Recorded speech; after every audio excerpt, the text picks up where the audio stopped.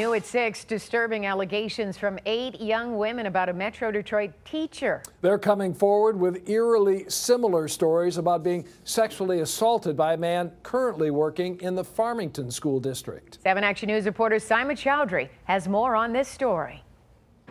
This teacher is accused of sexual assault or sexual misconduct with students in at least three schools, including right here at Clarenceville High School. We need justice.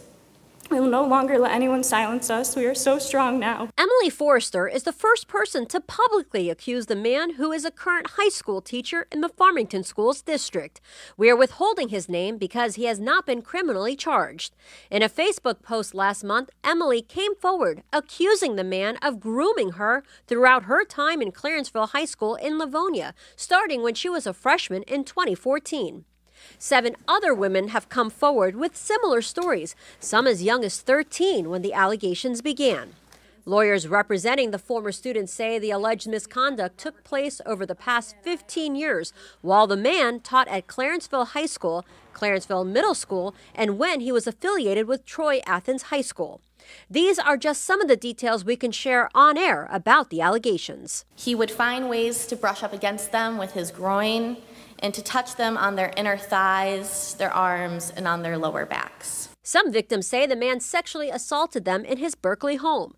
We knocked on the door of his last known address, but no one answered. We're told the music and theater arts teacher is 41 years old. He was affiliated with other schools and music programs in Southfield, Romulus, Madison Heights, Bloomfield Hills, and the University of Michigan Summer Academy of Music. The man is currently a Farmington Schools teacher, the district putting out a statement saying he is on paid administrative leave. Emily says at the time she and a friend notified the principal at Clarenceville High School about the teacher's behavior, but she says their cry for help was not taken seriously. I wasn't wrong. I just had a school district that failed me.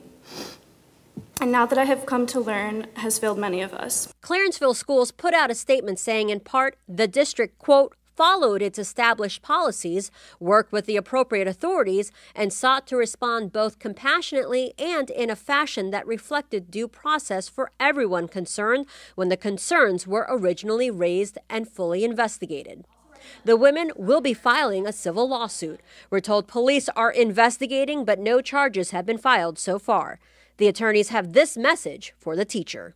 The truth is coming to light. You cannot hide from it. You cannot run from it. And the lawyers for these women believe there may be more victims out there and they're asking for them to come forward. In Livonia, I'm Simon Chowdhury for 7 Action News. All right, thank you so much, Simon. Now, we reached out to Clarenceville, Farmington, and Troy schools about these accusations. Troy says the man was never a teacher in that district, but did participate in at least two productions as an alumnus student. Now, to see the full statements, make sure you go to our website at WXYZ.com.